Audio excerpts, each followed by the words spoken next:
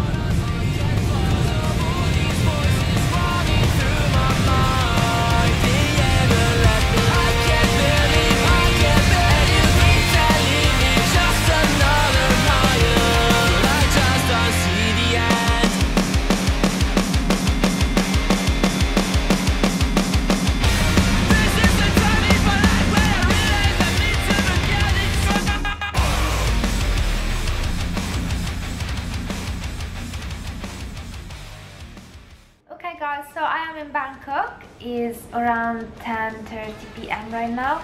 I was supposed to go to the Songkran today, but to be honest, I really can't do it. I am so tired.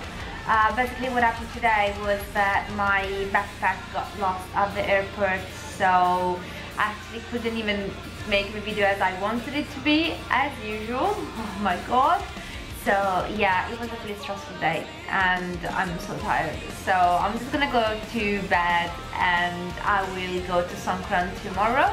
Actually tomorrow Luca is gonna join me as well. So you will see two of us in the next few days. Pretty exciting, yay!